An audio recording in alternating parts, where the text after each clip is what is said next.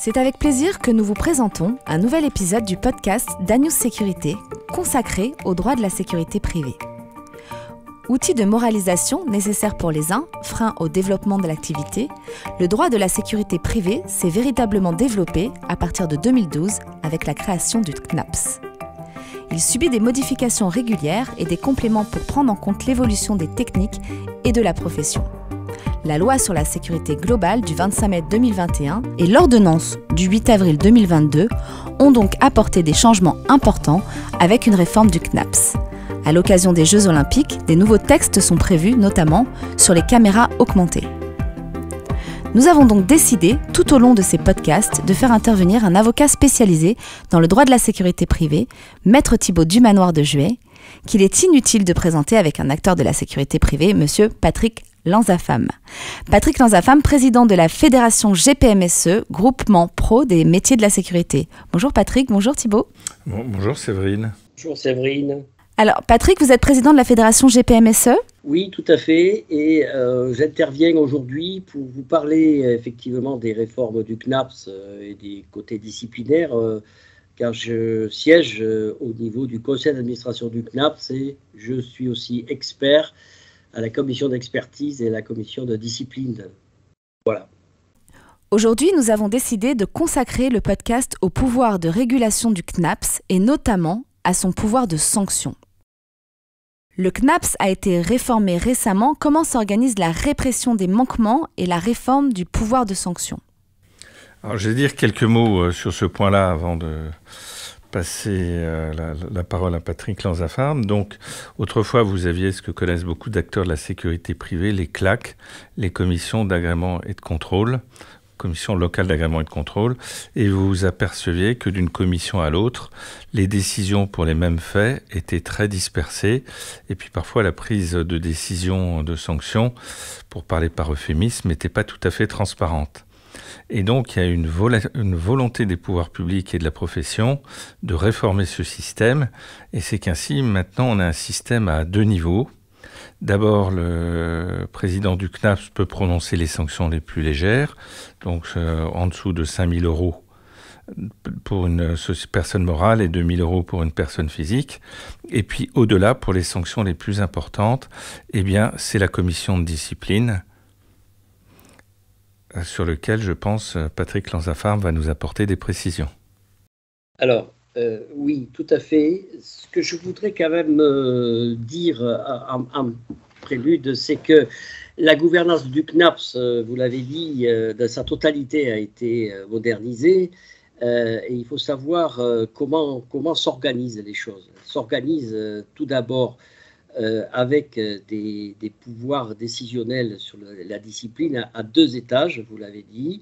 Un premier étage qui est du périmètre du directeur du CNAPS et un deuxième étage qui est de la commission, du pouvoir de la commission de discipline. Il faut préciser que, en fait, euh, cette organisation a été voulue pour alléger effectivement ce qui n'allait pas, ou là où on avait observé des des problèmes, c'est-à-dire euh, la disparité des décisions au niveau des claques. Euh, avec ce pouvoir centralisé, euh, le, législateur a voulu d'abord simplifier, je dirais, l'instruction et deuxièmement être plus rationnel dans les décisions, qu'elles soient des décisions de premier niveau au niveau du directeur ou qu'elles soient plus organisées et plus, je dirais, importantes au niveau de la commission de discipline. Euh, cette commission de discipline, aujourd'hui, elle est d'abord, euh, donc c'est l'organe central qui décide, donc dès l'instant où, euh, comme vous l'avez dit, on, a des manquements qui sont importants et qui peuvent aboutir à l'extrême sur des, des, sanctions financières plus importantes, au-delà de 5 000 euros. Et aussi, bien évidemment, ça peut aller jusqu'à une interdiction d'exercer, qui peut aller jusqu'à 5 ans. Donc cette commission, donc elle siège euh, très régulièrement, puisqu'en fait c'est l'organe central, et elle est composée aujourd'hui, euh, donc c'est, je rappelle simplement que la composition de cette commission, elle fait partie du décret 2022-449 du 30 mars 2022, qui définit les modalités d'organisation et le fonctionnement d'exercice du Conseil national des activités de sécurité privée. Et l'article R 634-9 prévoit clairement l'organisation et des, membres qui siègent donc à, à ce comité. Donc on a premièrement un membre de la juridiction administrative désigné par le vice-président du Conseil d'État. Euh, en général, c'est un préfet membre du Conseil d'État. Euh, on a un magistrat de l'ordre judiciaire qui est désigné par le procureur général de la Cour de cassation.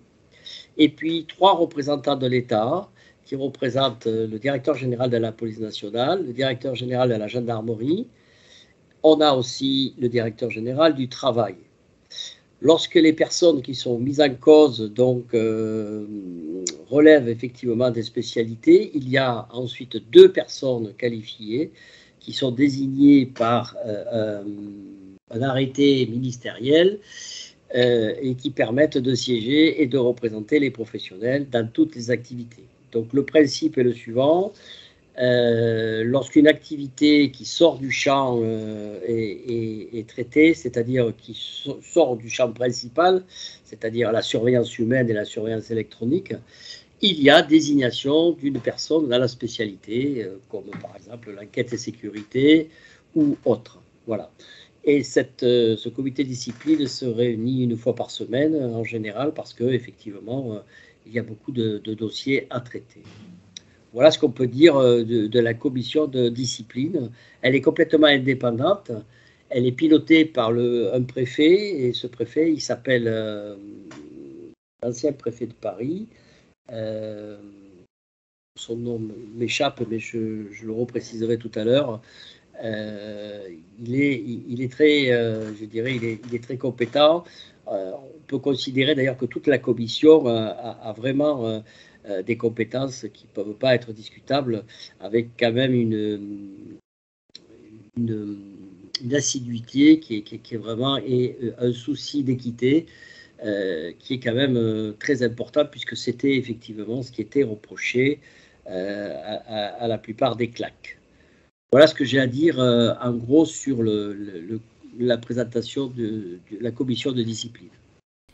Quels sont les manquements que vous poursuivez en priorité? Alors, je, je vais dire quelques mots de mon expérience euh, qui était devant les claques, puisque, comme vous l'avez souligné, la commission de discipline euh, est très récente. Et au fait, j'ai remarqué que la plupart des poursuites tournaient autour de trois axes.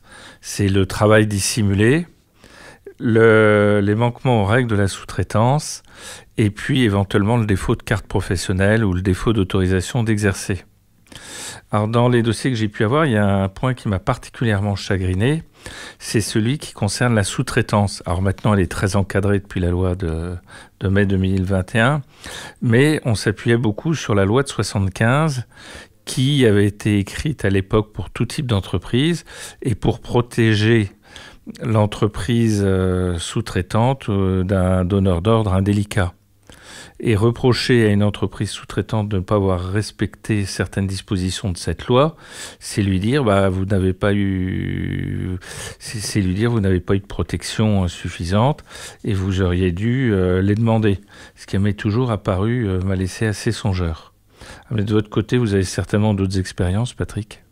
Alors, euh, oui, d'abord, il faut savoir que la, loi de 75, elle est toujours d'actualité, c'est-à-dire qu'en fait, elle s'applique à, toutes les activités, c'est-à-dire qu'on est responsable de son sous-traitant. Ça, c'est quelque chose de très important. D'ailleurs, euh, il y a des cas, souvent de sous-traitance, où lorsque le sous-traitant fait défaut, euh, l'État vient se retourner contre le donneur d'ordre lorsqu'il y a effectivement des problèmes qui sont liés à, par exemple, au règlement de la TVA ou autre, donc, euh, ou, des problèmes sociaux.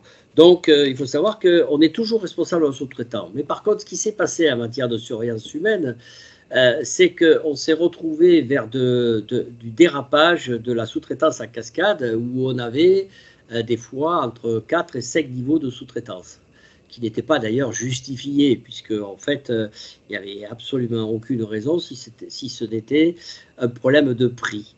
Euh, euh, qui, était, qui était lié à cette, à cette sous-traitance parce qu'effectivement, on, prenait des prix très bas et puis euh, on n'arrivait pas, bien évidemment, à faire face directement au marché et on passait par, ce qui était paradoxal, on passait par, par un sous-traitant parce que c'était un auto-entrepreneur ou autre et on se retrouvait avec des, des, dérives complètement complètement improbable.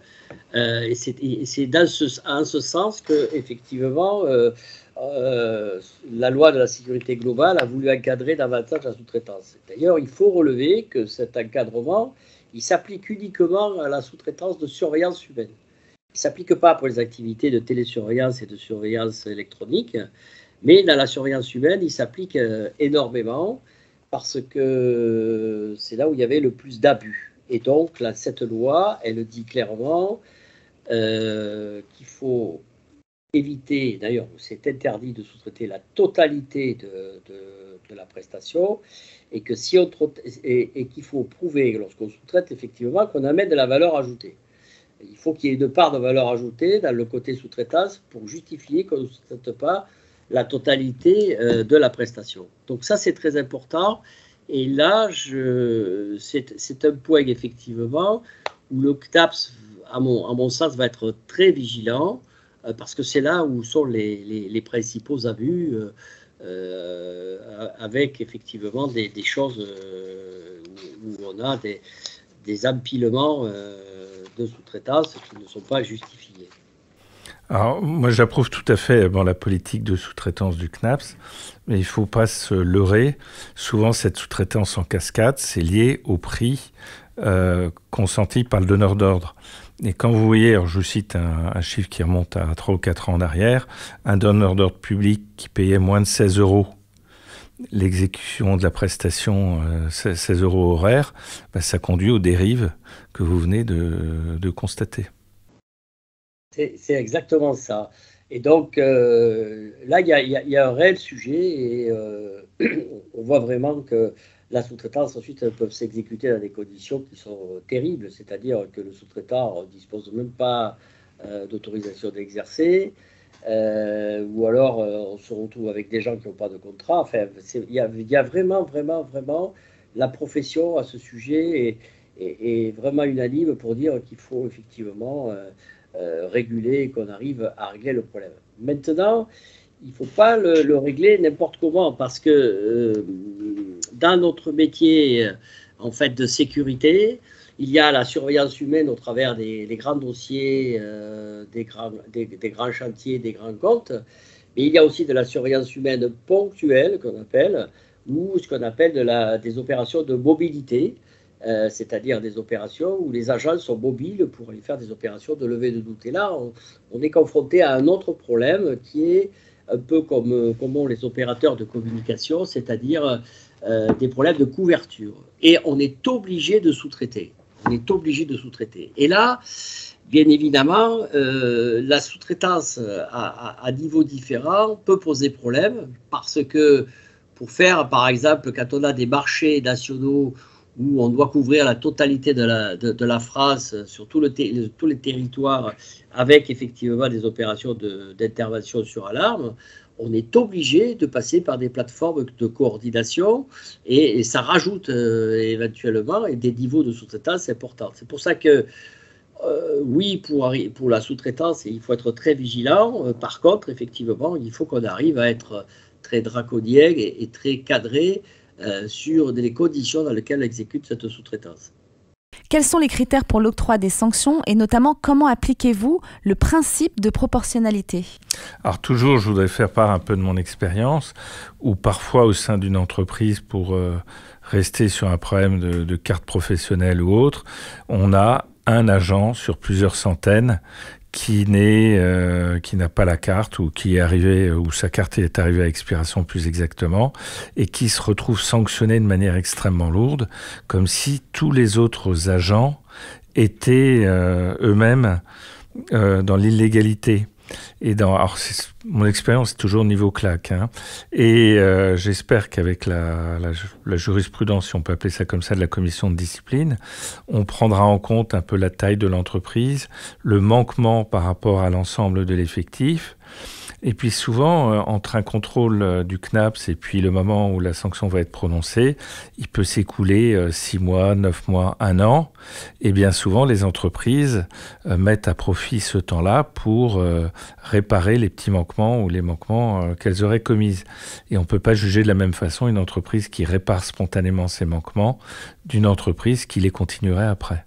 Oui, vous avez raison Thibault. Simplement, il faut savoir que euh, il y a plusieurs euh, sujets. D'abord, euh, la commission de discipline, elle, se réunit de, manière objective. Je rappelle quand même que sur le fonctionnement, il y a un rapporteur qui rapporte des faits. Et ces faits, normalement, ils ont été approuvés de manière contradictoire. C'est très important le contradictoire. Et souvent, ce que font pas assez les intéressés, c'est qu'il ne demande pas assez de précision sur le contradictoire. C'est-à-dire, voilà, j'ai un manquement, merci, sur quelle base de l'article euh, ce manquement est fondé, de manière à pouvoir répondre de manière euh, très, très ciblée sur ce qu'on reproche. Ça, c'est le premier point qui permet d'avoir un dossier bien organisé. Ensuite, effectivement, lorsqu'il arrive à la commission de discipline, le rapporteur euh, lit les manquements. Euh, en général, l'entreprise, elle, bien évidemment, a le droit de se défendre. Euh, elle est souvent défendue par un avocat.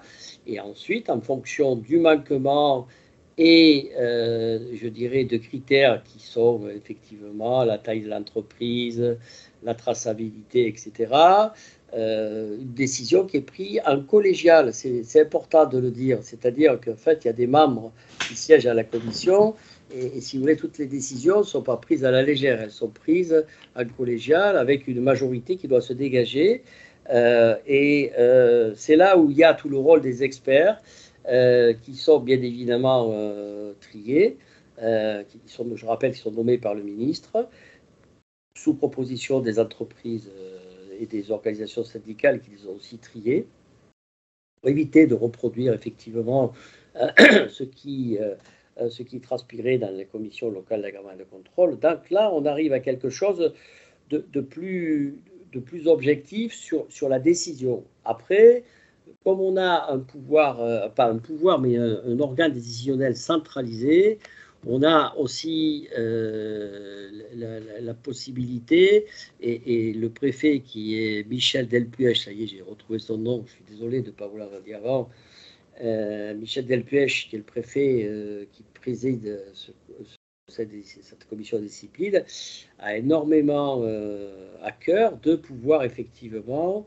arriver à rendre des décisions qui sont cohérentes. Elles sont cohérentes et proportionnées.